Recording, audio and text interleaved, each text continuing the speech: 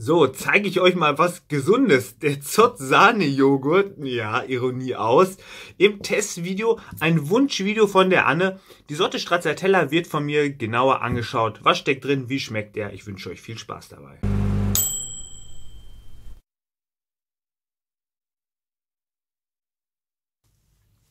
Jo, Tag auch, seid schön gegrüßt, schön, dass ihr wieder eingeschaltet habt. Ähm, ich präsentiere euch hier den Zott Sahne-Joghurt in der Sorte Stracciatella. Ein Wunschvideo von der Anne. Wieder Aufforderung an euch. Ihr dürft euch gerne immer Sachen wünschen, die ich mal testen soll. Wenn ich es einsehe, das Geld dafür zu bezahlen, dann tue ich das. Wenn ich es nicht einsehe, könnt ihr mir jetzt bei Patreon spenden. Ich habe einen äh, Kanal offen. Ihr könnt mir eine Nachricht schreiben oder es mir einfach zuschicken. Äh, das machen nur allerdings die wenigsten, glaube ich auch. Und ähm, naja, soll, äh, ich wollte es nur noch mal hier wirklich kurz ausführlich sagen. Ihr könnt euch alles wünschen. Ich kaufe wirklich sehr gerne Sachen. Ähm, ähm, nur wenn da mal Sachen bei sind, wo ich sage, sehe ich nicht ein, dann sehe ich es halt nicht ein. Wenn ihr dann trotzdem Tests haben wollt, dann könnt ihr mir bei Patreon was spenden, dann mache ich das gerne.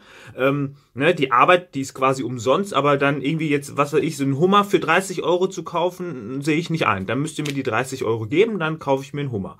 Also ihr versteht wohl, was ich meine.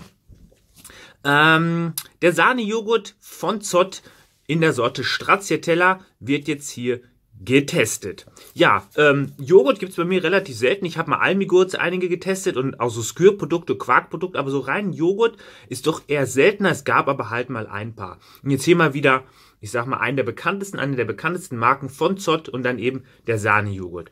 150 Gramm sind drin. Gekostet hat er, glaube ich, 70 Cent, wenn ich mich nicht irre. Äh, man möge mich korrigieren, ich bin mir da gerade echt nicht so sicher. Moment, ich gehe mal kurz im Internet schauen, ob man irgendwo einen Preis findet. Ja, ich lag mit den 70 Cent nicht ganz daneben. Ich habe gerade im Internet geguckt. Bei Real ist er mit 65 Cent angepriesen. Da habe ich ihn auch gekauft. Für 65 Cent bekommen wir 150 Gramm und lassen uns verwöhnen von einem cremigen Zott-Sahnejoghurt mit ausgewählten Zutaten. Ausgewählt ist übrigens alles, was man eben auswählt. Ausgewählt heißt ja nicht gleich, dass es gut ist. Da äh, hätte man irgendwie was prägnanteres. Schreiben vielleicht sowas wie mit guten Zutaten, weil ausgewählt, ja gut, gut ist auch subjektiv. Man könnte es ähm, auseinanderklamüsern. Ist doch egal. Sahnejoghurt mild mit Schokoladensplitz oder Splitz. 10% Fett im Milchanteil. Zutaten Sahnejoghurt, Mild, Zucker, Wasser, 2,1% Schokoladensplitz, die da bestehen aus Kakaomasse, Kakaobutter, Zucker, modifizierte Stärke und Aroma. Die Nährwerte haben wir hier, ist ein ziemlich gewaltiger Joghurt, eben Sahne, dafür wahrscheinlich leider geil.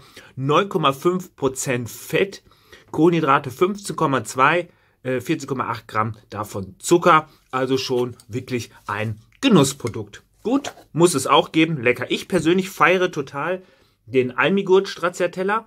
Ähm, wie der jetzt hier ist, weiß ich nicht. Ich habe ihn noch nie probiert. Schauen wir ihn uns mal an.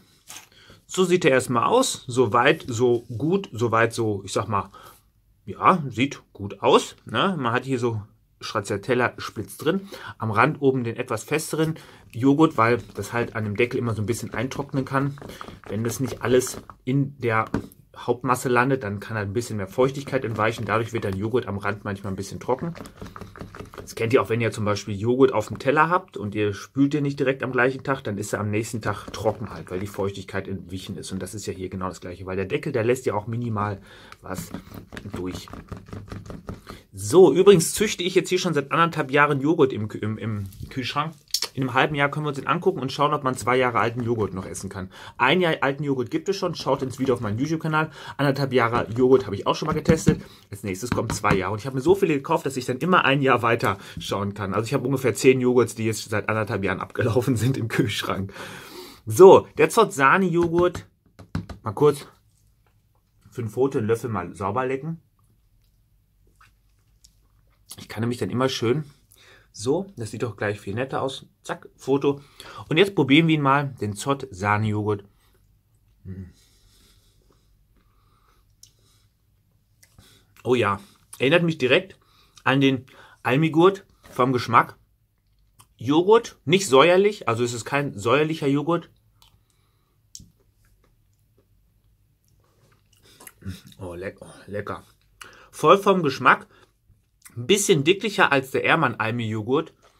Und ähm,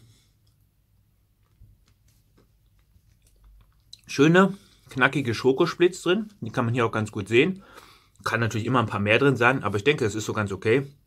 Ähm, ich finde, vom reinen Geschmack ist er dem Almigurt echt ziemlich identisch. Vermutlich liegt es an den Aromen, die sie beide benutzen. Vielleicht nehmen sie das gleiche Aroma. Mhm. Wie gesagt, der hier etwas dicker. Ich finde jetzt nicht, dass er viel fetter schmeckt. Ich glaube, es ist schon ein paar Kalorien mehr drin, ein paar ein bisschen mehr Fett drin, meine ich, oder ein bisschen mehr Sahne. Ich bin mir aber nicht ganz sicher beim Almigurt Stracciatella. Könnt ihr mir gerne was in die Kommentare schreiben. Aber rein vom Geschmack finde ich sie ziemlich identisch und verdammt lecker. Ja. Sehr leckeres Teil. So viel mehr kann ich euch dazu auch eigentlich gar nicht sagen. Der Rest wandert jetzt gleich mit mir auf die Couch. Ich hoffe, ihr habt einen kleinen Einblick von diesem Produkt bekommen. Ich sage danke, Anne, dass du mir ein schönes Produkt empfohlen hast. Und nochmal die Aufforderung an euch, mir doch mal auch einen Tipp zu geben. Was kann man mal ausprobieren? Was würdet ihr gerne sehen? Und wenn es der Hummer sein soll, schaut mal bei Patreon rein. Oder schreibt mir eine E-Mail, dann sage ich euch, wo ihr den Hummer hinschicken dürft. Ich wünsche euch einen schönen Tag. Bis bald und ciao.